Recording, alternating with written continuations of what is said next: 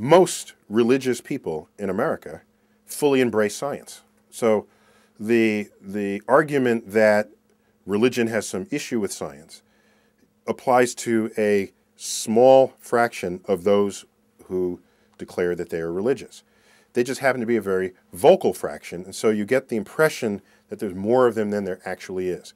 It's actually the minority of religious people who reject science or feel threatened by it or, or want to sort of undo or, with, or, or restrict the, where science can go. The, the rest, you know, are just fine with science and has been that way ever since the beginning. And by the way, there's no tradition of scientists knocking down the door, the Sunday school door, telling the preacher what to teach. There's no tradition of scientists picketing outside of churches, nor should there be some emergent tradition of uh, religious fundamentalists trying to change the curriculum in the science classroom. There been, there's been a happy coexistence for centuries.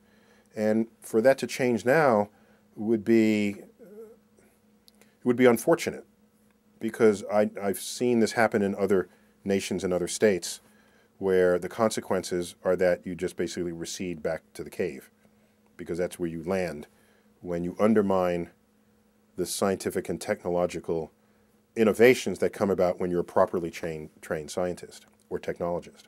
Consider also that in America, 40% of American scientists are religious.